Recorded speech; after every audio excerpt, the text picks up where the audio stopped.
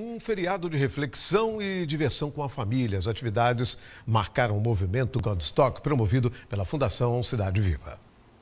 Uma programação para todo mundo ficar junto, fazer a garotada se mexer e se desligar dos jogos eletrônicos. É muito importante, né, esse feriadão aí, estar tá com a família, né, e também participando da, da corrida que teve aqui, né, cuidando da saúde, né. O feriado se transformou no Dia da Família. Eles se espalharam pela área do centro metropolitano.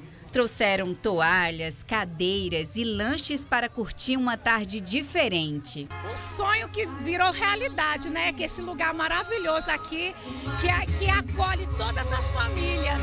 Então estou muito feliz. Tem brinquedos infláveis, piquenique e muito louvor.